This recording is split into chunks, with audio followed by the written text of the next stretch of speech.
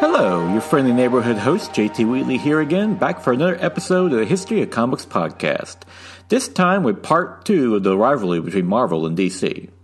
When we last left off, uh, Marvel and DC had both established themselves as the preeminent American comic book publishers, and uh, Marvel had just recently surpassed DC, which had long been which had long been number one in comic book sales. Now they would, they would continue their rivalry, but for a little while they would even get along. Martin Goodman, the founder of Marvel, continued to attack DC by flooding the market with Marvel books, and Stan Lee would inadvertently do something that would not only further define the difference between Marvel and DC, but change American comic books forever. The U.S. Department of Health had recently approached Marvel about producing an anti drug story, realizing a lot of kids read comic books. It says something that even the U.S. government knew to approach DC over Marvel at the time and Stan Lee agreed, commissioning a story for Amazing Spider Man numbers 96 to 98 from May to July of 1971. However, the Comics Code Authority forbid any depiction of drug use, even negative ones, and wouldn't give the story its seal of approval. Seeing as how they had the U.S. Department of Health support, Marvel printed the story anyway, without, com- without the CCA approval seal. From DC's perspective, Marvel's move was outrageous, specifically by Carmen Infantino, who stated that they wanted to do an anti-drug story themselves, but wanted to do it without Code approval. In fact, they planned to run one in Green Lantern Green Arrow about Speedy, Arrow's sidekick, being a heroin addict, complete with a cover of him shooting up by Neal Adams, but the CCA rejected it. However, when Infantino's criticism would soon look out of place when Amazing Spider-Man the Amazing Spider-Man story was universally acclaimed for its message, while the CCA was criticized for being behind in the times and trying to prevent such an important story from being printed. The resulting backlash led to the CCA to revamp its code for the first time since its inception 17 years ago on February of 1971, not only allowing for more morally gray stories like drug ones, but finally allowing horror characters to return to American comic books. Plus, that Green Arrow Green Lantern story finally got published. Marvel would soon take advantage of this rule change with such classic horror series like Tomb of Dracula, while DC was able to introduce a character like the Swamp Thing in House of Secrets number 92 on Ju- July of 1971, created by Len Wein and artist Bernie Wrightson. Though you would probably never hear them thank Marvel over it.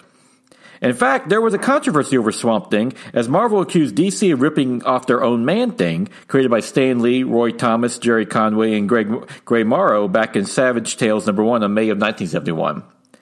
DC countered, stating that they were both variations of the character The Heap, a Golden Age creature created by Harry Stein and Mort Leav in Air Fighters number 3 in December of 1942, and both sides finally decided to leave each other alone over it. Marvel did get another jab at DC when Martin Goodman learned that while DC held the copyright to the Fawcett character Captain Marvel, which they acquired after falsely suing the company over claiming it was a ripoff of Superman, they had lost the trademark to the name. The character was originally created at Fawcett in February of 1940 by Bill Parker and C.C. Beck in Whiz Comics number 2, starring uh, a kid Billy Batson, who when uttering the word Shazam, transformed into an adult hero Captain Marvel. While he had only a passing resemblance to Superman, along with actually flying, while Superman was still just leaping tall buildings with a single bound at the time, that didn't stop DC head Jack Liebowitz from suing Fawcett over copyright infringement, eventually forcing him to cease publication of the character in 1953. The character remained popular, leading to a deal in 1972 where DC acquired the rights to Captain Marvel, but in the interim time, the trademark had expired. A brief explanation about the difference between a copyright and a trademark. Copyright is the, what the intellectual property actually is, while the trademark is what you call it. Similar to a patent being for what a Toyota Corolla is, while the trademark is the name of the Corolla. By law, trademarks expire a lot faster when not used, which is what happened to Captain Marvel, with the name reappearing in 1996 under MF Enterprises as an attempt to squat on it. However, Marvel intended to claim that name for itself, thus paid MF $4,500 in a legal settlement. Then Goodman ordered Stan Lee to create a Captain Marvel for Marvel, thus fully claiming the trademark for themselves. The new character appeared in Marvel Superheroes number 12 on January of 1967, with Gene Colan providing the art. The Marvel version was an alien Kree warrior and would get his own series in 1968, which ran for two years. DC would protest and even try to sneak Captain Marvel's name into their own comic, but Marvel quickly started legal action. They even tried to cheat, calling him the original Captain Marvel on the comics covers, but even that was nixed by Marvel, thus changing uh, Shazam's name to the World's Mightiest Mortal with Shazam number 15 in December of 1974. Thus, the character is known in DC as Shazam to this day, along being awkward for the hero as he can't say his name without transforming back into Billy Batson. While Captain Marvel is currently on the fourth version with Carol Danvers' character. An additional, more recent sting, the recent Captain Marvel movie from Marvel Studios grossed 1.41 billion worldwide, while Shazam from DC Warner Brothers of that same year did just 364 million. While all this fighting between Marvel and DC did drive the competition to improve their books for the readers, they did want them to get along a little bit, if only for so some of their favorite characters could finally meet. As the fan community grew in comic books, many started asking, what would happen if Captain America and Superman met, or who was the fastest, the Flash or Quicksilver? Marvel and DC weren't quite listening yet, but there was some cooperation starting between the companies, if not with their approval. In Avengers number 69 in October of 1969, by Roy Thomas and Sal Buscema, it introduced Squadron Sinister, a knockoff of the Justice League, but as villains. For example, Hyperion is a stand-in for Superman, while Nighthawk is a version of Batman. In Justice League of America number 75 in November 1969, the Avengers were referenced in return when battling evil versions of themselves, but in a subtler ways. For example, Batman threw a trash can lid like Captain America, and Superman's evil twin proclaims he's as powerful as Thor. Then, in issue number 87 on February 1971, the Champions of Angor were introduced as Avengers stand in. Marvel would follow suit with Avengers number 85 on February 1971, would introduce the Squadron Supreme, a team of good guys related to the Squadron Sinister, complete with being JLA ripoffs. Marvel then later would bring back the Squadron Supreme in 1985 with, with a miniseries, complete with an ad proclaiming they were the Justice League done right, which naturally angered DC. This didn't stop the clandestine crossover in Marvel and DC, which was more overt in a series of issues starting in Amazing, Spy- Amazing Adventures number 16 in January 1973, and going to uh, JLA number 103 in December 1972, and Thor of uh, 207 on December 1972, all by Steve Englehart, Gerry Conway, and Len Wein. While each story stood on its own, together it told a larger narrative, all without DC or Marvel's approval. Another unofficial Marvel DC crossover came when writer Steve Englehart and his character the Mantis, a green skinned martial artist who first appeared in Avengers number 112 on June of 1973, was co created and penciled by Don Heck. She would eventually become a member of the team, later making her live action debut in Guardians of the Galaxy Volume 2 on, on uh, 2017. However, after Englehart went to DC to write the Justice League of America, he would have her appear in issue number 142 on June of 1973, this time under the name Willow. When asked where she came from, Willow answers, This one comes from a place that she must not name, to reach a place no man must know. This would be part of Englehart choosing to continue his creation despite moving from different companies. Willow would leave Justice League two issues later to give birth, only to reappear in Scorpio Rose number two at Eclipse Comics now, this time called Lorelei, and having given birth to her son. She then appeared in the Coyote Collection at Image Comics, and Lorelei's name has even been dropped in Englehart's novel The Long Man in 2010. Mantis, Willow, Lorelei has gotten around, to say the least. While all this was happening, DC and Marvel and specifically Carmen Infantino and Stan Lee, decided to cooperate in another aspect when they agreed to share their page rates, originally to avoid having freelancers try to play them off each other. It came about when freelance artist uh, Frank Robbins lied to Marvel about what DC was paying him for a better deal. However, when Roy Thomas found out about this, he resigned as editor in chief in protest at Marvel, and the rate sharing never came about. It would be illegal collusion between companies on top of everything else. The cooperation continued between DC and Marvel in other ways, such as when both companies discovered they were working on an adaptation of the classic Wizard of Oz story, and they agreed to make it a co-production in 1975, called MGM's Marvelous Wizard of Oz, the first official co-production between the two companies. All this laid the groundwork for their two flagship characters to finally meet, Superman and Spider-Man. It all began with literary agent David Obst worked with Marvel and Stan Lee to produce a series of hardcover books from Simon and Schuster, such as Origins of Marvel Comics and Sons of Origins of Marvel Comics.